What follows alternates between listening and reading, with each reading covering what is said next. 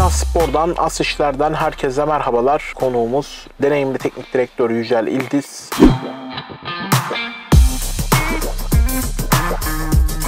Toplasanız bir ay kaldım ya. Hayırdır ben söyledim zaten ya beni kaya kampana mı çağırdınız buraya yani? Yani böyle bir enteresanlık olabilir mi yani? Ülkemizde bir kere bu, bu değerler biraz yozlaştı.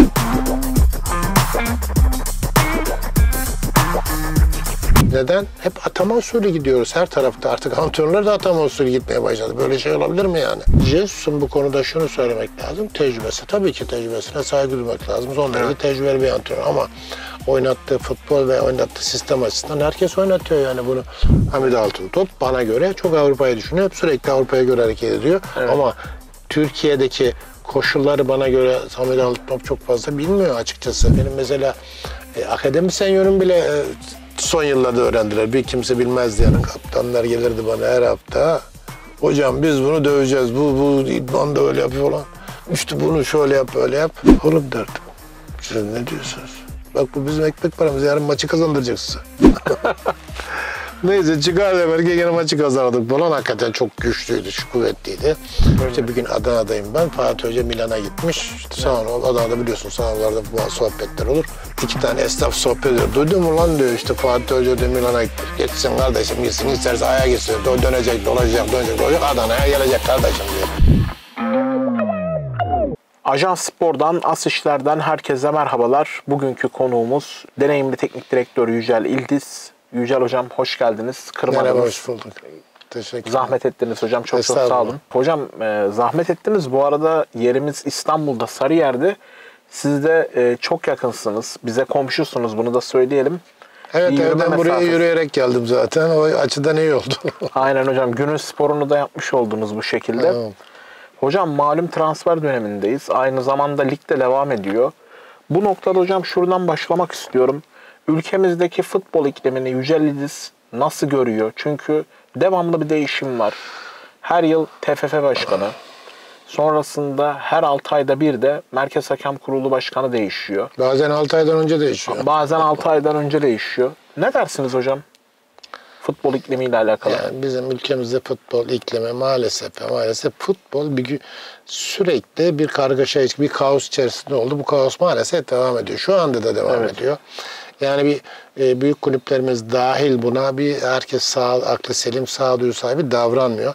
Herkes kendine yontuyor. Herkes kendi menfaatlerini düşünüyor. Türk futbolunu nasıl kalkındırırız gibi bir düşünce içerisinde genel olarak baktığınız zaman bir ekol getirelim işte Türk futbolunu bir yüz kazandıralım e, gerçekten ciddi şekilde bunun bir altyapısını oluşturalım gibi düşünce ben hiçbir zaman görmedim veya yapay olarak yani açıkça söylemek lazım suni olarak hep söyleniyor ama genel olarak baktığınızda böyle şeyler görmüyoruz. Bu nedenle bizdeki futbol bir karmaşa içerisinde gidiyor.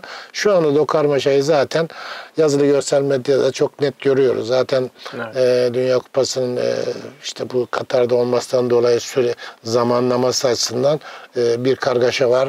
İşte ligler ara vermedi, transfer dönemiyle e, maçlar aynı noktaya geldi. Böyle de bir durum var. Bu nedenle her şey iç içe dur görünüyor şu anda. Evet. Hocam e, dediğiniz gibi insanlar kendi cephesinden yorumluyor. Yorumlarken de idareciler, yöneticiler, futbolcular, teknik adamlar bunu yorumlarken de zarar gören Türk futbolu oluyor. Türk futbolunun kalkınması için, gelişmesi için neler yapılmalı? Şimdi e, bu çok klasik bir şey ama Evet. bir gerçeği söylemek lazım. Türk Tabii ki futbolunun tabii ki e, kalkınması için her şey, dünyanın her işi idarelerle kayımlı. Bir kere kulüpleri iyi idare edeceksiniz. Kulüplerin başı kim? Federasyon. Federasyonu iyi idare edeceksiniz. Buralarda istikrar sağlayacaksınız. Eğitim daireleri çok çok önemlidir biliyorsunuz. Yani şimdi eğitim dairelerimize bakalım. Sürekli bir değişim içerisinde. Merkez Hakem Komitesi sizin biraz önce söylediğiniz gibi efendim Futbol Federasyonu sürekli 6 ayda bir değişiyor. Bu şekilde değişim, bir değişim içerisinde devamlılık ve Türk futbolunda bir istikrar düşünebilir misiniz? Veya Yok. Kulüplerdeki yönetimler aynı şekilde tamamen ve tamamen güncel başarıya odaklı yönetiliyor kulüpler. Hiçbir şekilde altyapıya e, bakılmıyor, şey yapılmıyor. Yani ba- bugün Barcelona e, dünyanın en büyük kulüplerinden bir tanesi. Evet. E, yani altyapıya Onlar enayi bu kadar yatırım yapıyorlar? Yani bütün bunların hesabını yapmak lazım. Gerçekten veya işte Almanya son dönemde baktı işte e, istediği oyuncular çıkmıyor. Birdenbire kesti. Dünya kadar tekrar bütün eğitim şeklini değiştirdi. Yatırımlar yaptı. Evet. E, makine futbolu yerine tekrar özellikle oyuncu çıkarmak için e, yatırımlar yaptı. Ondan sonra Mesutlar, Kedireler falan tekrar geri geldiler. Anlatabiliyor muyum? Bu nedenle bizim ülkemizde de bu şekilde devamlı bir şey olmasa uzun vadeli düşünmemiz lazım ve gerçekten de ciddi kadrolar koyup bu kadrolarda ısrar etmemiz lazım. Hocam şunu sormak istiyorum. Siz uzun yıllardır ülke futboluna hizmet ediyorsunuz. Her ligde görev aldınız ve başarılı oldunuz. Teşekkürler sağ ol. Çok çok önemli şampiyonluklarınız var. Az önce mesela şundan bahsettiniz. Devamlı bir değişim oluyor her Evet. birimde. Mesela teknik direktör değişimleri de ülkemizde sıklıkla yaşanıyor. İdareci değişimleri de, idare idaresel noktada da. Bu değişimler yaşanırken hocam özellikle de mesela teknik direktör değişimlerinde lobi ve siyaset etkili oluyor mu? Siyaset futbolun neresinde? Şimdi e, etkili olmaz olur mu zaten sen de soruyorsun ama etkili olduğunu sen de biliyorsun. Evet. Şimdi lobi faaliyetleri zaten kırıla gidiyor. Yani açıkçası şimdi ön yönetimlerden başlayacak olursak şimdi yöneticiler, başkanlar so- son dönemde bunların da e, başka farklı tipler gelmeye başladı. Be- be- Belli bir süre kulüplerde kaldıkları zaman Evet. futbolu hepimizden iyi biliyorlar. Antrenörden iyi biliyorlar. Transferi de iyi biliyorlar. Sahayı da iyi biliyorlar. Oyuncu değişimini zaten dikkat edin Razar'ı görsel medyada konuşmalarında bunu net bir şekilde anlıyorsunuz. Yani başkanlar da futbolu öğreniyor artık. Yani açıkçası ve çok net bir şekilde e, konuşmaları o şekilde gidiyor. Tabi bu şunu beraberinde getiriyor. Yani teknik adama verilen değer giderek bizim ülkemizde çok e, yozlaştı, çok azaldı. Evet. Bu çok doğru bir şey değil.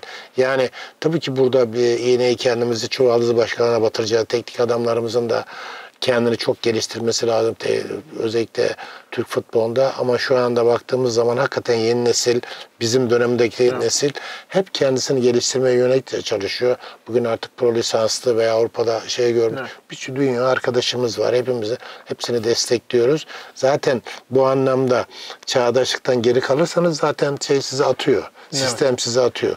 Bütün bunları yaparken de bütün bunları yaparken de diyoruz ki futbola siyaset girmez ama bir de iğneyi kendimize batırırken bu siyaseti biz kendimiz çekiyoruz. Evet. İşte siyasete katıyoruz. E, demeçlerimizden belli işte e, büyük şeyimiz gelsin ağırlığını koysun federasyonu düzeltsin efendim işte veya e, teknik adamlar futbolcular vesaire siyaseti araya koyarak e, kulüplere gitmeye çalışıyorlar. Ondan sonra diyoruz ki siyaset girmesin. Yani kullanan da biziz girmesin. Böyle bir şey yok. İç içe olduğu kesin yani. Net bir şekilde görülüyor zaten. Mesela hocam az önce çok güzel bir noktaya değindiniz. Teknik direktörler de bu noktada hata yapıyor bence. Mesela siz yaklaşık bir buçuk yıldır takım çalıştırmıyorsunuz. Ben bu süreçte size gelen tekliflerin olduğunu da biliyorum. Fakat siz Biz 7-8 aydan beri evet. evet yani ama siz kendiniz hocam net bir şekilde istemiyorsunuz Aynen çalışmak. öyle. Bunu söyleyelim. Ee, bu noktada bence teknik direktörlerde de hata var hocam. Bilmiyorum katılır mısınız? Yani çünkü hani bir halk tabiri vardır ya. Balıklama atlama deriz. Direkt mesela tercih ediliyor. Ve bir de Antrenörler Derneği diye bir kurum var. Mesela teknik direktörler... Şekil olarak var. ha. Şekil olarak var. Mesela bu dernek ne yapar hocam? Hiç sizinle temasa geçti mi? Ya hayır geçiyor da yani şöyle yaptırım gücü yok. Bütün mesele Evet. bu yani. Dernek tamam İsmail Bey Başkan var başında iyi niyet ama yaptırım gücü çok çok önemli. Ülkemizde maalesef bunun böyle bir yaptırım gücü yok yani. Evet. Diğer anlamda baktığınız zaman kulüplerde yani ben 7-8 aydan beri çalışmıyorum. Ee, Her çalıştığım kulüpte de siz de biliyorsunuz. Uzun vadeli çalıştım. Son gittiğim kulüpte bir ay çalıştım. Neden? Neden olduğunu siz de bilmiyorsunuz. Ee, Evet. Erzurumlu. Yani çok enteresan şeyler olabiliyor. Mesela niye yani. ayrıldınız hocam Yani niye gittik, niye ayrıldık? Yani şimdi orada bir ay Kaç içeris- hafta sürdü? E, Yani toplasanız bir ay kaldım. Yani hayırdır ben söyledim zaten ya beni kaya kampına mı çağırdınız buraya yani? Yani böyle bir enteresanlık olabilir mi yani? Orada neden tabii Mesela ki... hocam ben en son Başka, yani ha. ben bile unuttum o kadar kısa süre çalıştınız ki. Evet. evet. Yani ben direkt aklıma Altay'da mesela. Erzurum'u siz, den- Evet. siz deyince aklıma geldi. Neden? Çünkü zaten çalışmış gibi olmadın yani. Çünkü orada başka nedenler var. Yani dışarıda E işte açıkçası belediyesi, bilmem nesi, siyasiler, onlar bunlar her iş saha içine saha içine karışmaya çalışıyorlar. Ondan sonra da Erzurumspor niye bu halde veyahut da e, yani Erzurum derken açıkçası Genel anlamda. kulüpler genel anlamda söylüyorum. Evet. Yani sadece şey tek bir şehir üzerinden konuşmayalım. Bu nedenle e, tuhaf oluyor yani şimdi sizin gibi tecrübeli bir insana bunu yaptıktan sonra diğer antrenörler neler yaparlar yani. E, bu nedenle e, yani gerçekten kulüplerin bu anlamda aklı selim insanlara ihtiyacı var. Evet. Ve e, tamamen ve tamamen bir antrenöre güveniyorsa alacaklar, devam edecekler. Tabii antrenörlerimiz de e, elinden geleni yapacak. O zaman kulüpler belli bir şeye gelir. Altyapısıyla, üst yapısıyla. Evet. Yani ülkemizde bir kere bu, bu değerler biraz yozlaştı. Neden? Hep atama usulü gidiyoruz her tarafta. Artık antrenörler de atama usulü gitmeye başladı. Böyle şey olabilir mi yani? Evet. Yani bir e, liyakat sistemi olması Mesela lazım. hocam hiç hiyerarşi şununla olması lazım. karşılaştınız mı ya da e, böyle bir duyum geldi mi? Örneğin Yücel Ediz çok başarılı bir teknik direktör. Ben kulüp başkanıyım. Yücel hocam siz başarılısınız, sizi istiyoruz. Ama bir belediye başkanını bulup aratman lazım. Böyle şeyler oluyormuş mesela. Şimdi ben e, tabii o kadar bilmem, bize o kadar yapamazlar ama şunu söyleyeyim yani.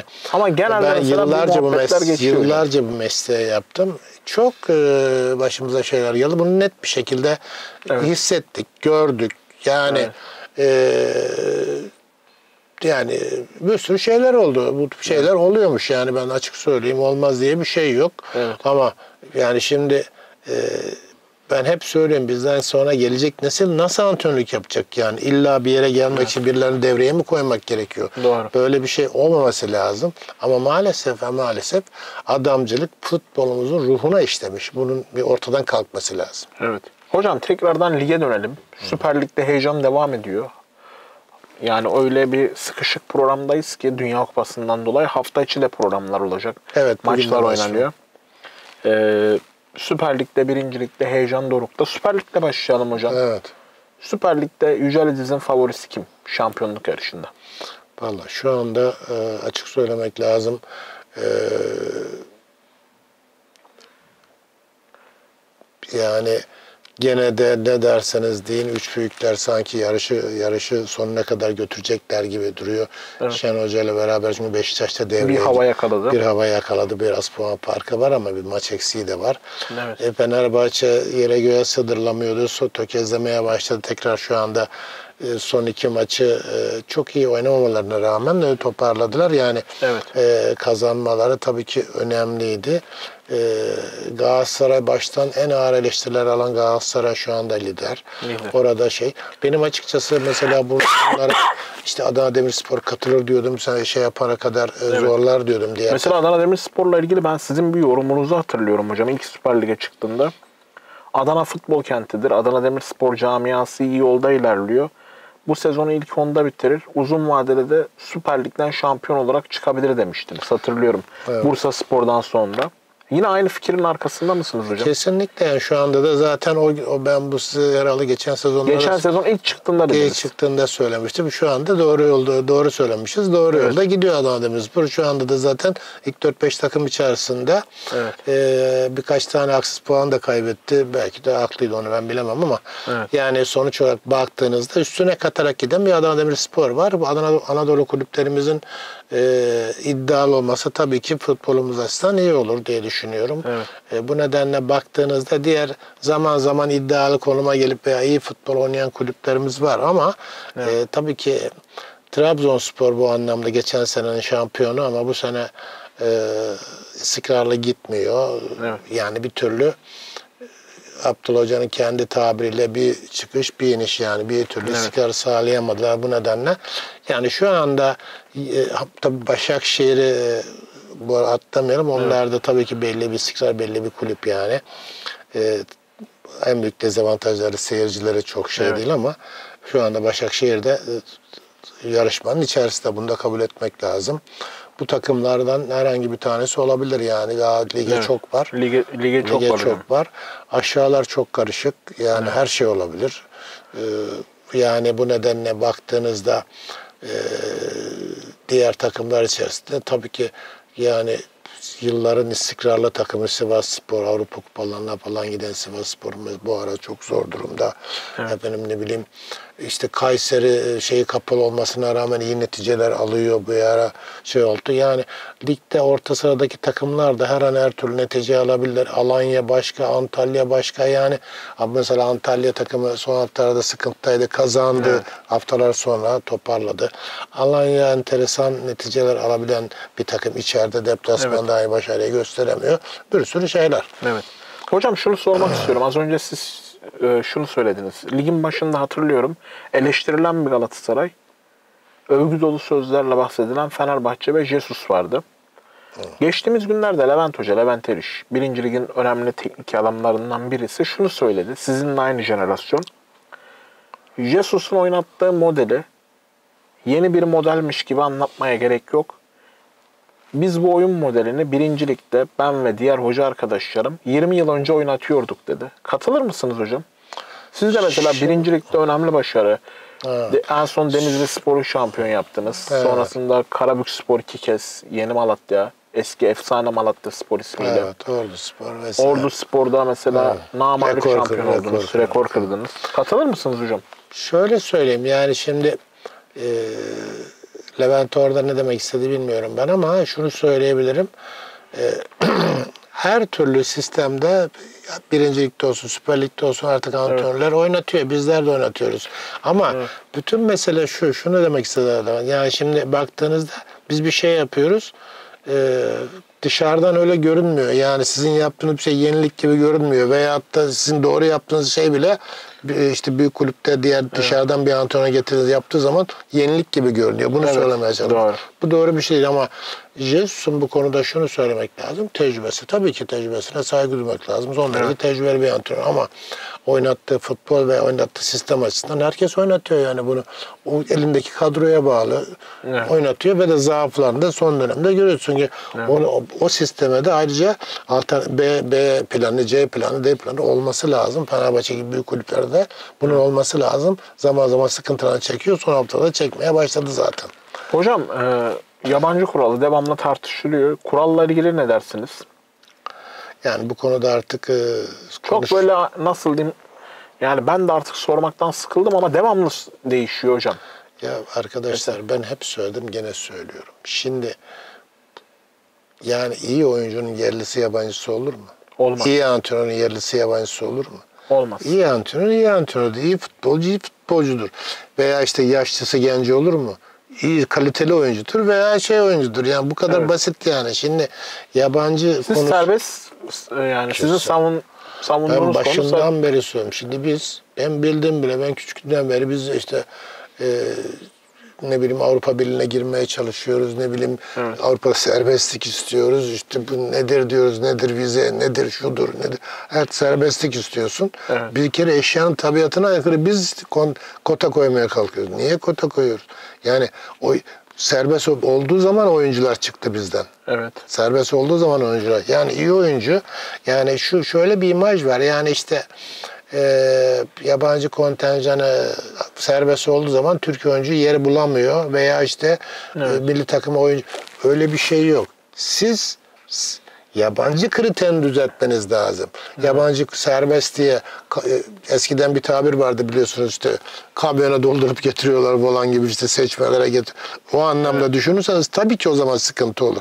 Ciddi kaliteli yabancılar getirirseniz o zaman hiçbir sıkıntı olmaz. Evet. Bütün mesele buradan kaynaklanıyor. Yoksa ben yabancı kontenjanına zaten karşıyım. Böyle bir şey olamaz yani. Oldu bitti söyledim hala da söylemeye Evet. devam ediyorum. Hocam zaten altyapıyla ilgili de düşüncenizi dile getirdiniz. Çok detay. Mesela rezerv lig vardı. Ne oldu hocam bu rezerv lige? Şimdi e, şimdi bakın bir şey söyleyeceğim Sizin size. yani çalıştığınız dönemlerde de vardı. Tekrardan bu sezon yine başladı. Ardından iptal edildi 3 hafta sonra. Ya şimdi bu kadar keyfi bir şey olabilir mi yani? İşte kulüpler istedi, istemedi veya falan istedi, falan istemedi. Bu nedir? İşte bütün mesele kimdir bu işin başı? Futbol fe- federasyon değil mi? Federasyonda devamlılıklar olması lazım. Mesela ama son dönemde hocam ben şuna dikkat ettim. Bilmiyorum aynı fikirde misiniz? Futbol Federasyonu her konuyla ilgili kulüplerin güdümünde mesela. Kulüpler mesela örneğin Salim Manav istedi. Salim Manav görevde. Şimdi efendim şöyle bir şey var. Mesela bu rezervlik konusunda da o şekilde. Kulüpler istedi, yapıldı. Kulüpler istemedi, vazgeçildi, iptal Bütün edildi. mesele federasyonların özelliği. Evet. Yani şimdi futbol federasyonu gerçekten özelki olsa böyle gerçekten kendi planlarını koysa böyle bir şey olabilir mi? Olamaz.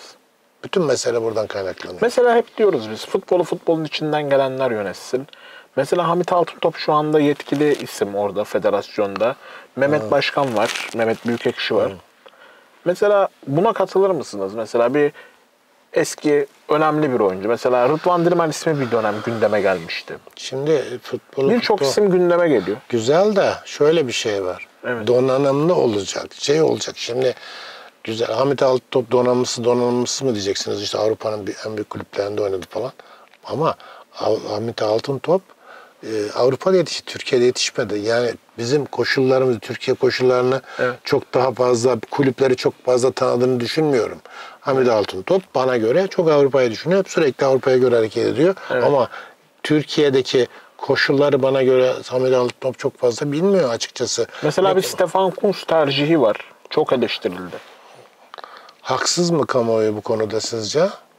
Bence haklı çünkü Stefan Kunz Almanya U21 takımında çalışıyordu. İyi ya da kötü tartışılır ama bence bu size saygısızlık, sizlere saygısızlık hocam. Kesinlikle. Türk antrenörleri. Evet, yani Türkiye'de biraz önce ben söyledim. Yani bugün artık e, bu epeyden beri var ama yani şimdi yeni nesil de geldi. Tabii bizim dönemlerimizden belli artık e, bizler Avrupa'da gittik bir sürü şeyler gördük. Evet. Pro lisanslar aldık işte Köln Spor Akademileri vesaire. Hep Evet. gittik. Bizden sonraki nesil de Mesela siz varsınız, Yılmaz Hoca var. Başka Evet. var mıydı hocam? Yok diye biliyorum. İki kişi. Yani belki Akademiye katıldınız. Ha evet katıldık ama başka birkaç kişi var mı bilmiyorum. Ben tabii Yılmaz okulunu da bitirdi. Biz seminerlere katıldık. Aynen, orada. seminerlere 21 de günlük, 21 gün, 3 defa ben gittim. Var tabii olmaz mı? Bir sürü arkadaşlarımız vardı. E daha sonra Türkiye'deki akademileri hemen bitirip hem futboldan gelen bir sürü arkadaşımız geldi ve birçoğu da fut- pro lisans sahibi. Yani hep kendisini yetiştiren arkadaşlar gelmeye başladı. Sadece işte ben eski bir futbolcuyum havasında olmadı. O eskiden vardı. Evet. Yani şu anda yeni nesil antrenörler gerçekten bugün milli takıma kim antrenör derseniz e, birçok genç arkadaşımızı ve birçok tecrübe arkadaşımızı sayabiliriz. Yani işte Fatih Hoca gibi duayenlerden tutun e, ta aşağı kadar. Mesela şu anda akıllara ilk gelen isim Fatih Hoca, Sergen Hoca. Mesela Sergen Hoca da mesela önemli bir, futbol ya figürü. Bir çok figür tabii abi önemli figür yani. Şimdi bugün Kayseri'nin hocası Sergen Hoca'nın daha e, daha önce yanındaydı. Evet, Çağdaş Hoca. Çağdaş Hoca falan mesela gayet iyi gidiyor onu söylemeye Evet. çalışıyorum. Bir sürü arkadaşlar var bu şekilde. Bu nedenle yani milli takımlar için Türkiye'de e, son derece önemli arkadaşlarımız var. Herhangi biri olabilir yani hiçbir sıkıntısı yoktu. hiçbir Hocam şey şunu merak yani. ediyorum mesela kariyerinize bakıyorum. Çok önemli başarı. Kardemir Karabükspor. İki sezon üst üste, iki defa İki şampiyonluk. defa.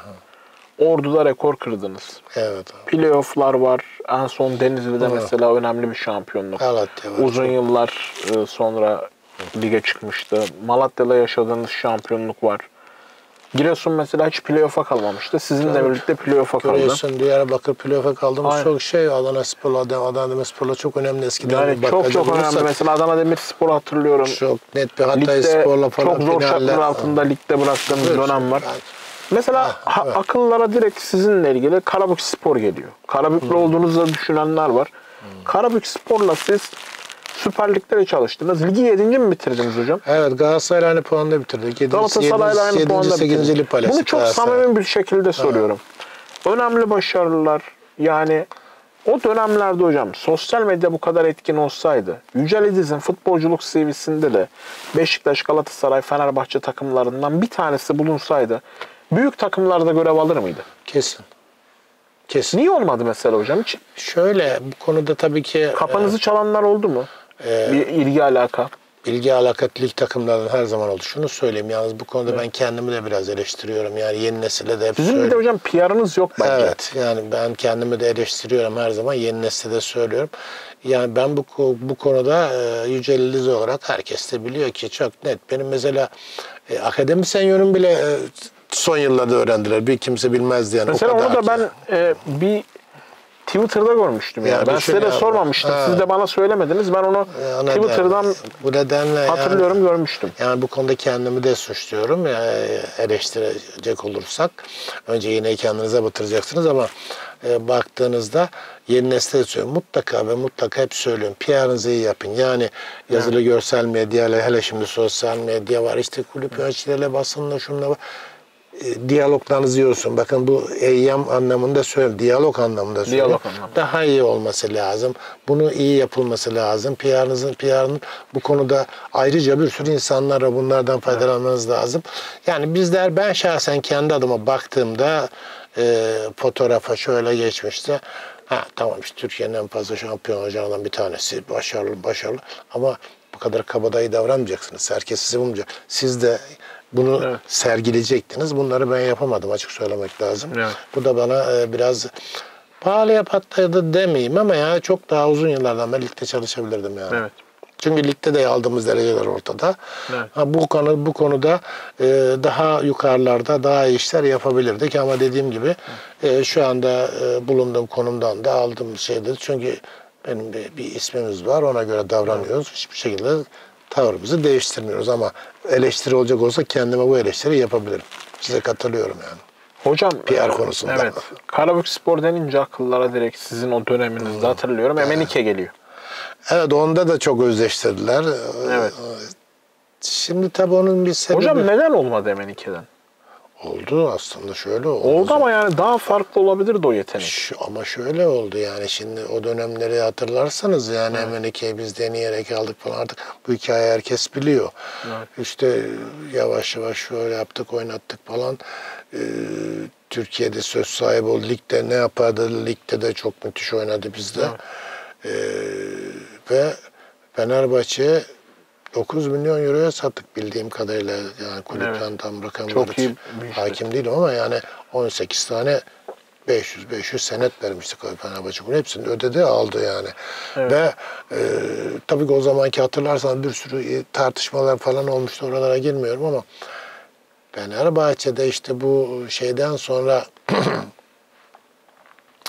bu iş- işte iddialardan sonra falan biliyorsunuz Evet. MKN'de Aziz Yıldırım da içeri girdi çıktı bir sürü hikayeler. Evet. Ve, ve 2011 süreci. Evet 2011 süreci. Tabii ki bu, bu o süreç içerisinde Emenike şeye satıldı. Rusya, Moskova, Rusya, Moskova'ya Moskova'ya satıldı. Ee, orada da e, iyi oynamaya başladı. Orada da iyi işler yaptı. iyi işler yaptı, iyi gidiyordu. Bir sakatlık geçirdi. Evet. Ciddi bir sakatlık geçirdi. Türkiye'de çok fazla kimse bilmiyor. Biliyorlar da yani o sakatlığı bayağı zor atlattı. Ondan sonra tekrar biliyorsunuz dönüşü oldu Türkiye'ye. Ama hiçbir zaman o, o Emenike olmadı artık. Oldu ama Mental olmadı. sıkıntısı mı vardı hocam? Yani o şöhreti kaldıramadı mı? Çünkü denenmeye geliyorsunuz Karabük Spor'a. Şimdi şöyle bir Ardından şey. Hı. Türkiye'nin en önemli kulüplerinden birisinde forma giyiyorsunuz. Yurt dışı macerası. Şöyle söyleyeyim tabii ki Emenike sütle yıkanmış bir adam değildi yani. Çok te- enteresan bir adam. Ama bir şey var. Evet. hiçbir antrenmanı kaçırmazdı yani antrenmana gelmezlik yapmazdı. Ha, ekstra çalışmayı sevmez ama ne derseniz yapardı o konuda hiçbir sıkıntısı yok yani ama en önemlisi şu bana göre şimdi bizim aldığımızda yaptığımızda biz acemilik aldık. Evet. E daha sonra tekrar gidip ya tok emenike. Yani sizin dediğiniz acı o tabii ki çok önemli bir şeydi. Yani şimdi e, gelip cüzi bir maaşa yani daha işte konturunu bile e, kulübün doldurduğu bir Amerika'dan tutun. Koç Türkiye'de kalenden ne olursa olsun diyen Amerika'dan tutun. işte bütün Türkiye'nin göz bebeği bir kulüpte oynamak, büyük e, e, eurolar, paralar kazanmak, yurt dışına gitmeler, gelmeler bunlar tabii ki o oyuncuyu etkilemiştir. Zaten e, bunu hep beraber zaten e, görsel medyada, yazılı medyada zaten bunu herkes gördü. Ama Evet. oyuncunun çok güçlü bir oyuncuydu yani çok kuvvetli bir oyuncuydu. Hiç var mı hocam onunla ilgili bir anınız? Böyle başınızdan geçen. Yani ile çok yani şimdi yani şöyle söyleyeyim size mesela bende kaptanlar vardı işte e, kaptanlar gelirdi bana her hafta hocam biz bunu döveceğiz bu bu idman da öyle yapıyor falan işte bunu şöyle yap böyle yap oğlum derdim siz ne diyorsunuz bak bu bizim ekmek paramız yarın maçı kazandıracak size Neyse çıkar demek yine maçı kazandık falan. Hakikaten çok güçlüydü, kuvvetliydi.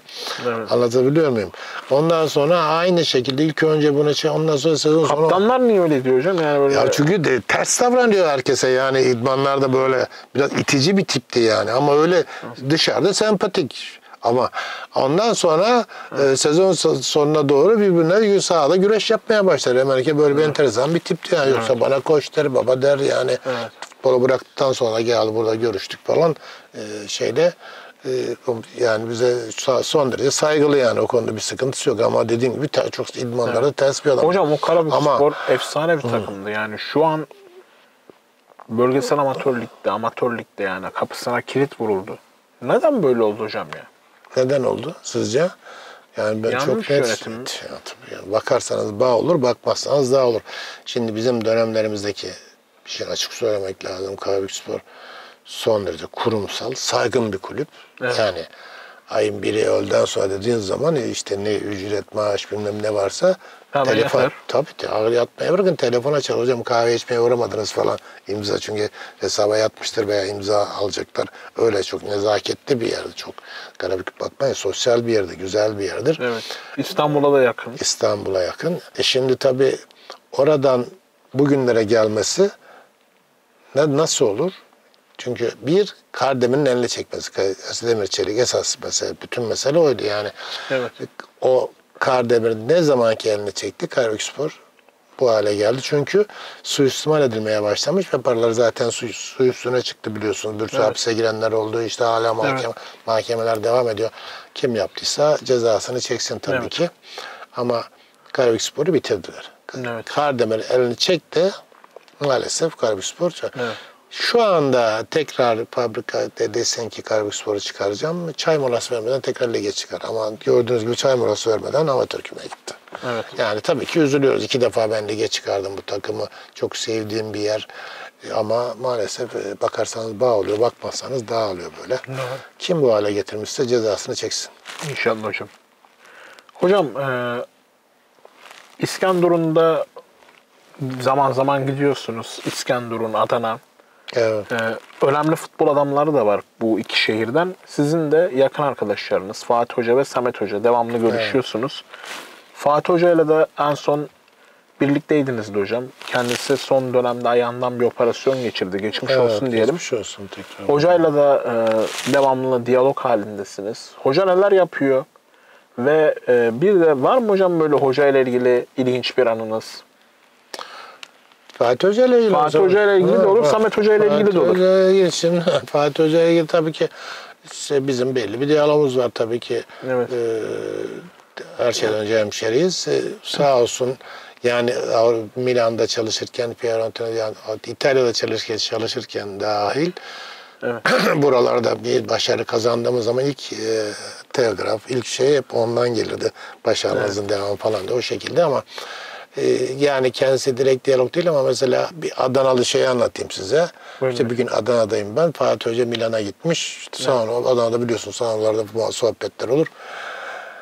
İki tane esnaf sohbet ediyor. Duydun mu lan diyor işte Fatih Hoca da Milan'a gitmiş. Geçsin kardeşim gitsin isterse aya gitsin. O dönecek dolaşacak dönecek dolaşacak Adana'ya gelecek kardeşim diyor.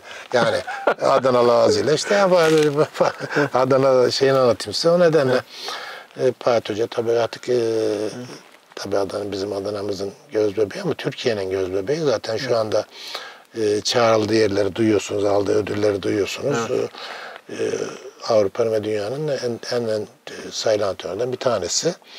E, bu şekilde de e, devam ediyor. Hala da insanlara örnek olmaya, katkı vermeye Türk futboluna devam ediyor. Şu anda e, tahmin ederim kendisi de bir yenileme süreci içerisinde.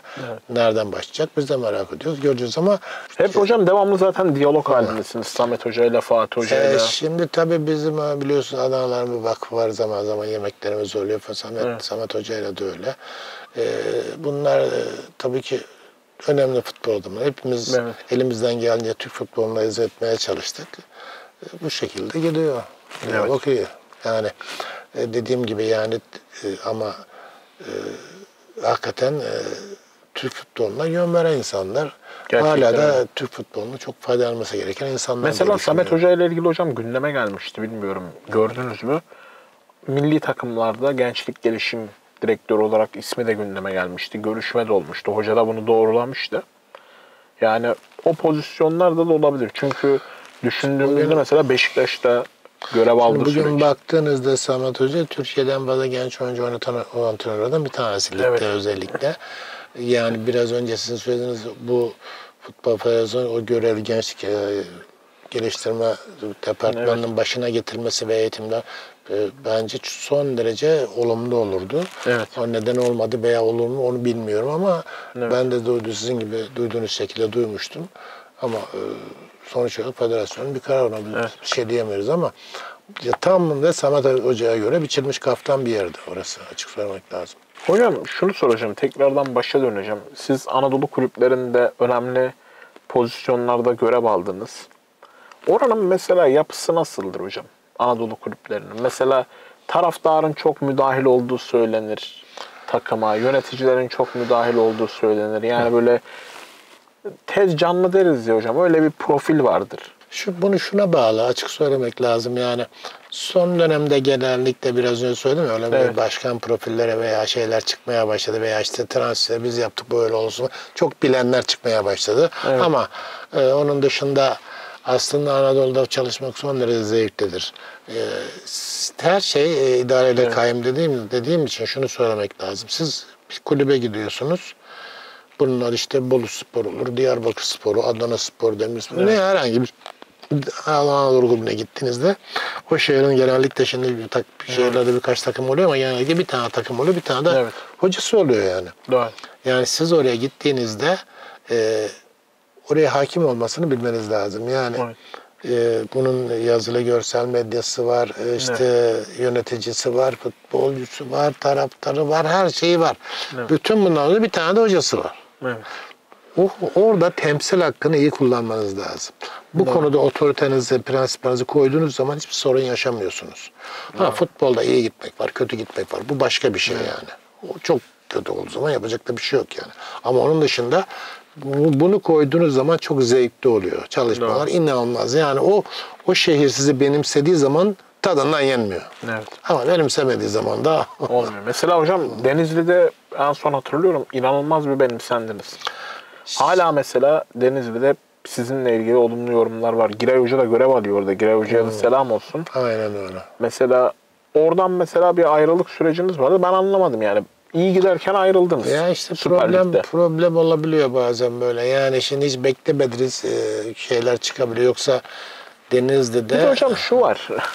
Mesela siz lige çıkartıyorsunuz bir takımı veya diğer teknik direktör hocalarımız lige çıkartıyor. Lige çıkardığı zaman ilk 3-4 hafta devam ediyor ya da hiç onunla devam edilmiyor. Bir de şu var.